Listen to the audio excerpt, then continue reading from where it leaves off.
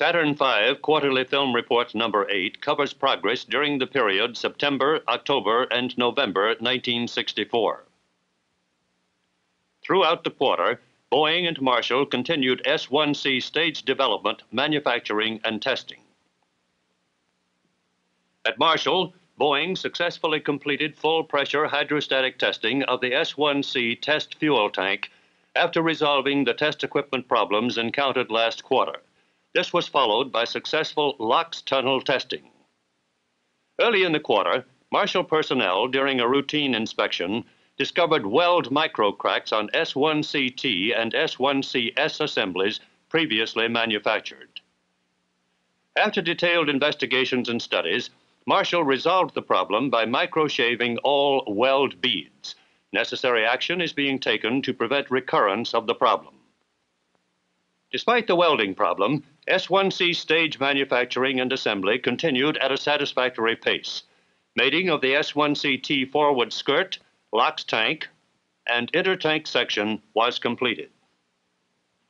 On November 2nd, this major assembly was moved from the vertical assembly building to the horizontal assembly area where final S1CT assembly will take place. S1CT thrust structure manufacture was completed with installation of heat shield panels and LOX and fuel duct supports. The structure was then moved into the vertical assembly building and joined to the S1CT fuel tank. The unit will be transferred to the horizontal assembly area for final mating to the LOX tank assembly early next quarter. S1CS cylindrical skin assembly and bulkhead fabrication continued this quarter. The forward LOX bulkhead for this ground test stage is now being built at Marshall. The original bulkhead fabricated by Boeing was rejected at Michoud because of unacceptable welding. Boeing is attempting to improve its welding techniques to prevent this problem from recurring.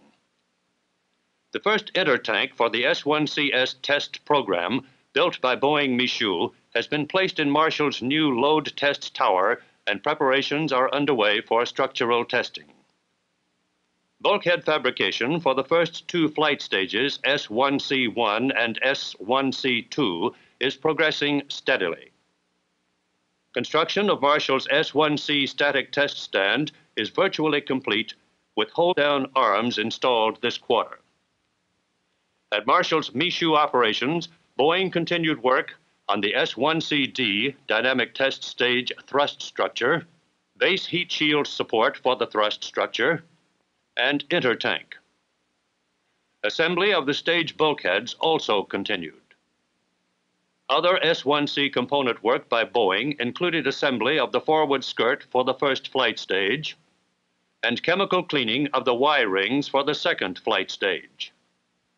Major facilities construction at Michoud included work on the stage test facility, the high pressure test facility, and the vertical assembly building with its hydrostatic test tower and final assembly tower.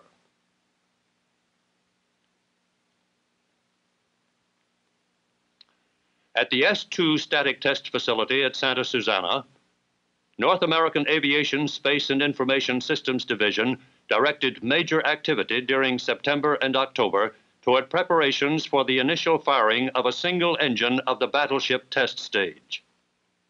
This activity included the installation of the center J2 engine on the battleship and installation and checkout of ground support equipment and systems development device at the test stand and in the control center. Systems checkout and cryogenics testing were completed. Continuity checks were made and the integrated checkout or sequential countdown conducted. Culminating these months of intensive preparation, on November 9th, the S-2 battleship first ignition was successfully accomplished. In the vertical assembly building of S&ID's Seal Beach facility, manufacturing of S-2S structural test stage continued during the report period. The common bulkhead, completed last quarter, was mated to the liquid hydrogen tank cylinder, and the assembly was installed in the hydrostatic test station where hydrostatic testing was successfully accomplished. In late October, the aft LOX bulkhead for S2S failed during its in process component hydrostatic testing prior to being welded to the LOX tank. The character of the failure was a fracture which propagated through the apex sections of eight of the 12 gore segments of the bulkhead. An extensive investigation by Marshall and S&ID revealed that the failure was caused primarily by manufacturing defects and inadequate detail inspection. Corrective action has been initiated and a replacement bulkhead for S2S will be available in December. Assembly of the first S2 stage transporter was completed at the American Machine and Foundry Corporation at York, Pennsylvania. Acceptance testing was completed satisfactorily and the vehicle shipped to S&ID's Seal Beach facility where functional testing and mobility runs were performed. The transporter will be used to move early ground test stages.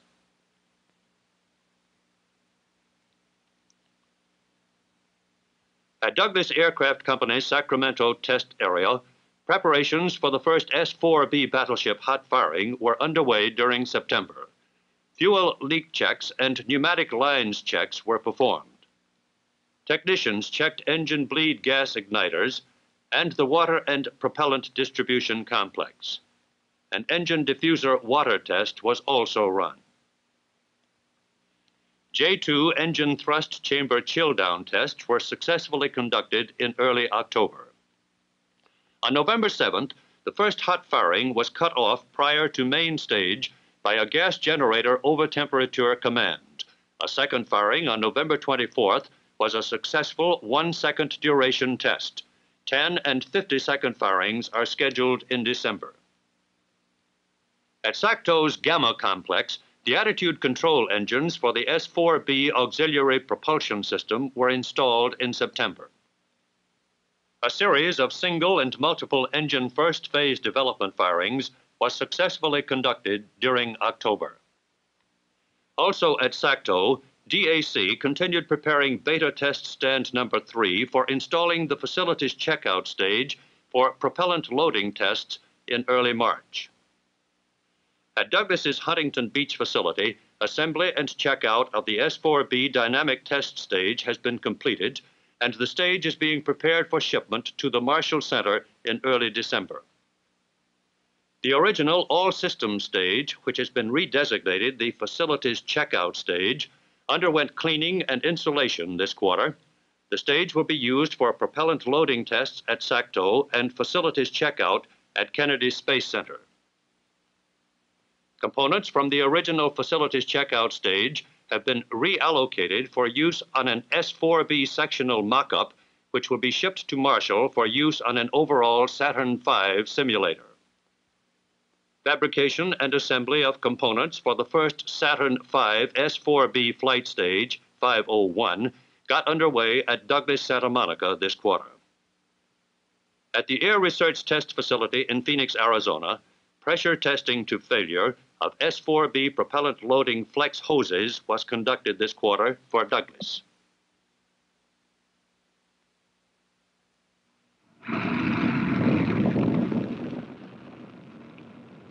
At the Edwards rocket engine test site in California, Rocketdyne began flight rating tests of the F1 engine on November 16th. The tests are progressing satisfactorily and will be completed by December 31st. Operational readiness of the two new F1 production engine test stands at Edwards was marked by ceremonies held on October 9th. The event was climaxed by a full duration firing.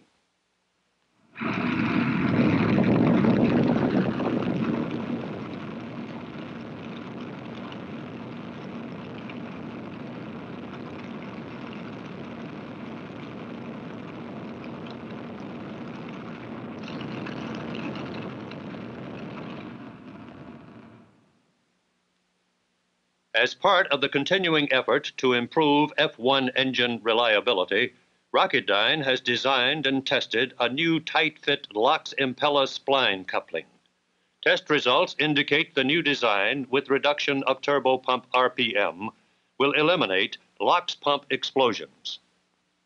Testing of the Mark 10 turbopump with shot-peened LOX impellers indicated a tenfold increase in the number of cycles to failure. As a result, all existing turbopumps have been retrofitted with the shot-peened impeller. Production of F-1 engines at Rocketdyne's Canoga Park manufacturing area progressed steadily during the quarter. This facility is capable of handling the final assembly and checkout of six F-1 engines simultaneously. Progress is continuing toward an early 1965 completion of Rocketdyne's manufacturing building number four. At Santa Susana, the two-position test stand Bravo 1 has been converted to an F-1 engine components test facility, providing for longer duration tests than were formerly possible. One position will be used for gas generator testing and the other for heat exchanger tests.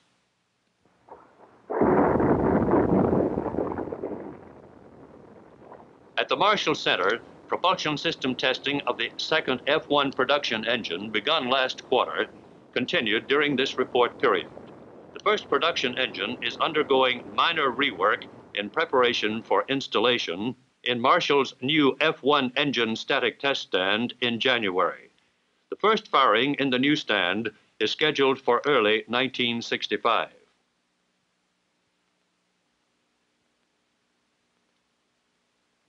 During a static firing of engine J2005 on September 19th at Santa Susana, a gas generator explosion occurred.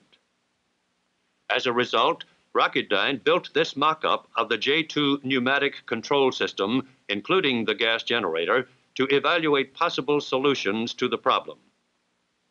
Analysis of test data on one proposed solution connecting the gas generator valve cast to the control pressure point indicated this would be successful in preventing one possible cause of the explosion. Other research and development activity on the J2 engine by Rocketdyne this quarter included flame resistance testing of the connector for the flexible armament harness now used for all J2 electrical control and instrumentation harness wiring. In this test, the system did not short out for six and one half minutes under a 2000 degree flame.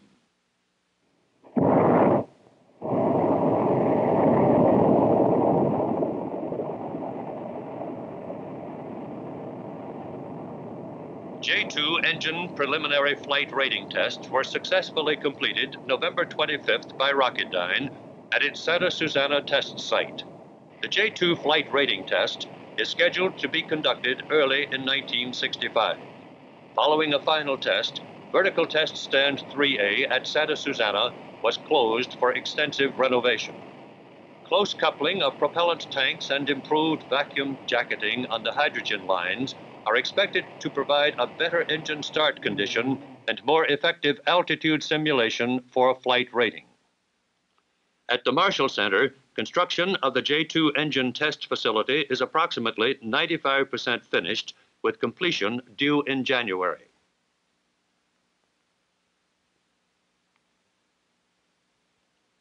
The first redesigned Saturn V instrument unit structure was delivered to Marshall by General Dynamics, Fort Worth, Texas, this quarter. The structure will be used for the dynamic test unit. Vibration testing for evaluation of IU cold plates manufactured by four vendors, Avco, North American, Solar Aircraft, and Aeronca, was in progress at Marshall during the quarter. Vendor selection will be made following completion of evaluation testing. As negotiations continued with international business machines for the IU mission contract, IBM personnel are already at work in their new Huntsville engineering laboratories. One of the most significant activities in which IBM is participating is preparation for the Flight Systems Test Program, a thermal vacuum test of the entire IU under simulated spaceflight conditions to be performed in an environmental chamber at Douglas Aircraft's Huntington Beach facility. To reduce costly duplication of testing facilities, special test equipment, which will be required both at Huntsville and Huntington Beach, is being installed in trailers, which can be air transported between these locations. IBM personnel this quarter also performed functional testing of the IU radar altimeter using an MSFC furnished test set. Another test involved a circuit analysis of the IU's remote digital sub-multiplexer. Breadboard circuit modules, which duplicate production hardware in component utilization and location, are tested in a temperature chamber to detect possible circuit malfunctions resulting from component tolerance accumulations. Also in progress this quarter were design evaluation studies on a newly designed channel unit for the IU telemetry system. All these operations are providing valuable experience as IBM phases into complete responsibility for a mission qualified Saturn V instrument unit.